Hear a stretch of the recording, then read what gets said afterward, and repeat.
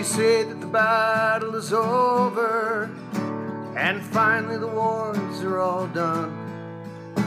Go tell it to those with the wind in their nose who run from the sound of a gun. Or write it on the sides of the great whaling ships, or on the ice floes where conscience is tossed. Where the wild in their eyes, and as they must die, must measure the loss.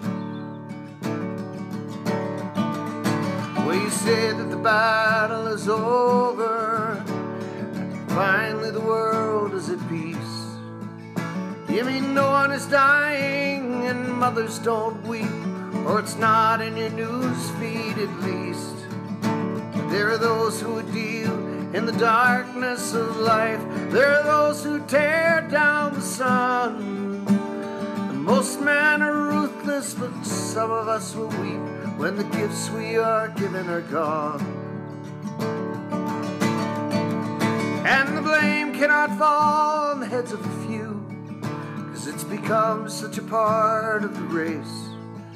And it's eternally tragic that that which is magic be killed at the end of the glorious chase. From young seals to great whales, and from waters to wood, they will fall just like leaves in the wind. We'll weave fur coats and perfumes and trophies on walls. So what a hell of a race to call men. And you say the battle is over. Finally the wars are all done. Go tell it to those with the wind in their nose who run from the sound of a gun. And it on the sides of the great whaling ships or on the ice floes where conscience is tossed.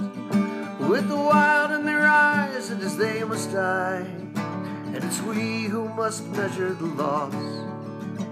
With the wild in their eyes and as they must die. And it's we who must measure the loss.